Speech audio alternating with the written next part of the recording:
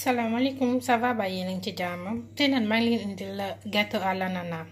pour gâteau bi dinaa soxla cent cinquante grammes sucre moom laa def nii si poêle bi moom lay soxla pour defar sama sirop voilà léegi dinaa soxla trois nen benn sachet levure cent cinquante grammes sucre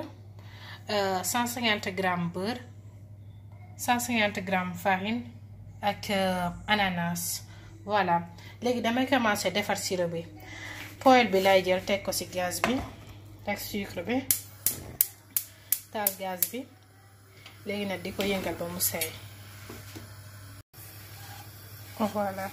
du soxla dara ça suffit que teg ko ci poêle bi di yëngal nànk-nànk muy seey jarul def ndox jarul def dara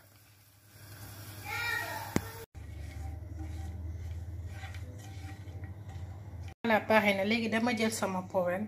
dama ci sotti sirop bi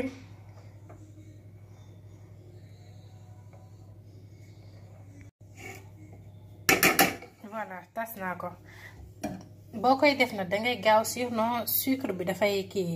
day formé wu voilà ananas bi laa siy teg nii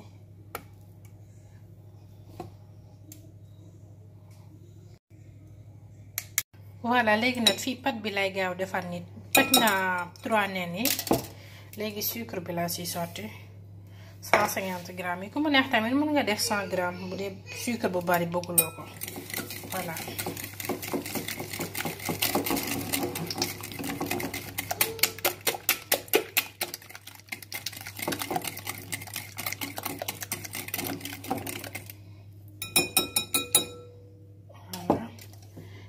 léegi farine bi laa si def farine bi moo nekk nii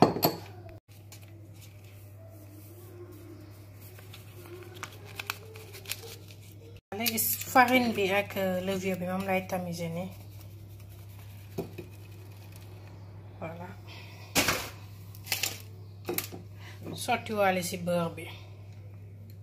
ku mu neex mën nga ci def essence de vanille pour jox ko goût mais man je préfère mu naturel comme toujours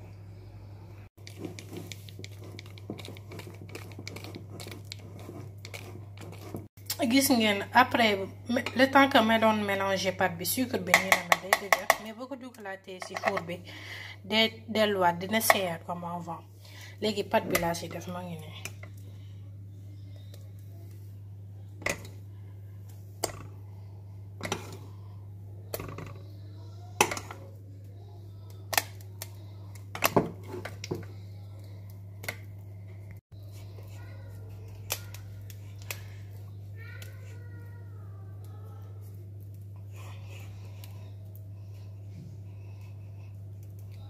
voilà man duma laal duma laal rebord yi bu ma koy kii bu ma ko si def parce que damay bañ après mu ñaawal gâteau bi voilà léegi pare na mën naa ko dugal ci biir four bi léegi dugal naa ko ci four bi 160 degré laa koy def pendant 40 minutes